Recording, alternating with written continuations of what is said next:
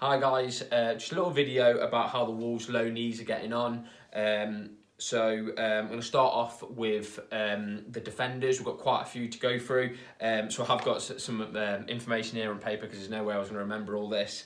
Um, so the first up is Bolla, who is a fullback, plays for Grasshoppers.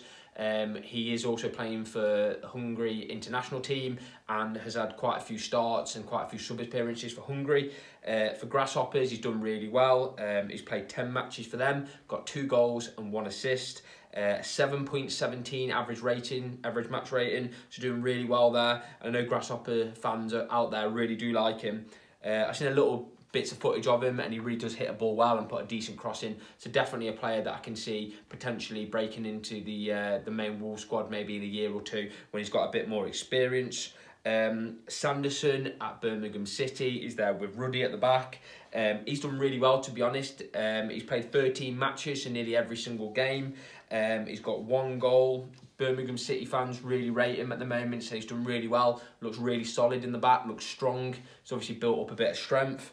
Uh, and he's got a 7 rating as well, so really good rating there. Average match rating this season. Uh, next up is Ryan Giles, who's at Middlesbrough. Um, he's doing absolutely fantastic. One of the best, I'd say. Uh, the Middlesbrough fans absolutely love him. Say he um, he really does get forward and attack. Um, he obviously plays as a fullback, but he does get really high up, high up the pitch and put some really, really good crosses in. Um, his average rating is 6.77, so getting close to 7 there. Um, 14 matches and 3 assists. No goals, but he's not really that kind of player. He just loves assists. He loves putting the ball in the box. Um, and that's another player that I can see breaking into the Wolves squad in the future. He's doing really well. Um, one player I was a bit surprised about because I know he hadn't been doing that well, a bit of um, criticism against him, is um, Hoever, who went to PSV. Um, he's doing really well now. He's got a 7.56 rating on average. Uh, he's played five matches and his last game he got two assists.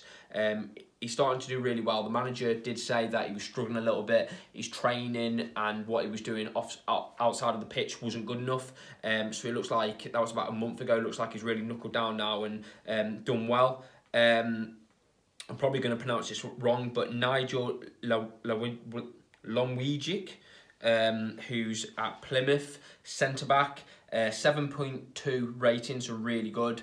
Uh, 12 matches, two assists. He's done. He's doing really well. Not really seen too much about him, but I know Plymouth fans also are saying he's done really well. He looks solid. So really good positive things there about um, our defenders that are on loan.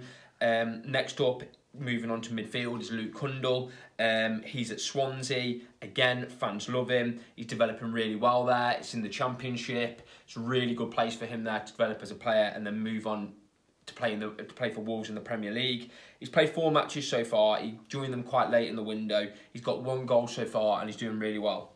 Um, one disappointing one is Bruno Jordao. Um, not played one game. He went to Santa Clara and he hasn't played one game. So I don't know what's happened there. Most likely injured. Haven't really seen any updates about that. Um, so I'm not quite sure what's happened.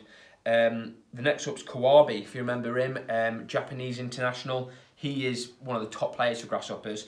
Um, he plays nearly every game for him, scores loads of goals, four goals, two assists, 10 matches, 7.33 rating. He's really good. He's playing more as an attacking midfielder in a number 10 position, but he can drop back and play as a central midfielder. But he plays as a number 10, and um, he just he just really runs the team. He, he's the he's the playmaker.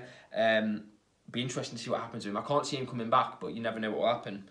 Um, Next up is Taylor Perry. He's at Charlton Town. 13 matches, one goal, one assist, 7.22 rating. Not going to lie, not seen too much about him, not seen the footage, but that's his um, his stats.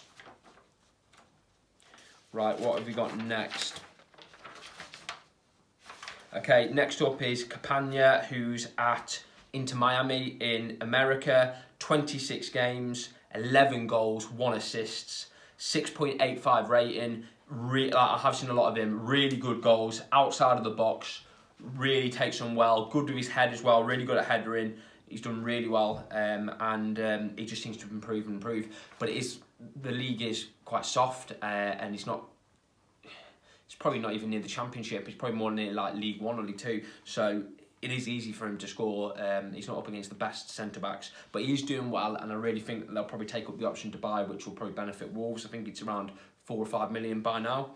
Um, Theo um, Corbeanu, um, who obviously played for Canada as well, he's at Blackpool, 13 matches, uh, three goals, zero assists, a 7.3 rating, um, and he's, he's, he's looking really good. Blackpool fans really rate him. Um, he was at MK Dons, I believe, before, but he's now at Blackpool. Um, he's, he's doing really well, and I think it's another player that we can see in the future um, moving on and, and, and moving up to uh, to Wolves and, and maybe being a part of the squad. Um, Sang Bin, who's a Japanese striker we bought, not really had much about him, only played two games, barely got any minutes, not really been given any chance. Uh, Fabio Silva at Anderlecht, probably the main one for everyone, 12 matches, 5 goals, 1 assist. He's got a 6.83 rating and he looks stronger, quicker. He's really good on the ball at the moment. Really good link up play with the rest of the forwards. Uh, and he seems to really improve his headering as well. He seems to be getting a lot of um, headers, um, maybe not so much of all of them going in in goal, but some of them really testing the keeper. Um, and he, he's not afraid to take shots outside the box. The one particular shot I saw was maybe 25 yards out, really hit it hard, went in. He, he's looking really, doing really well. I'm sure a little bit of him against West Ham.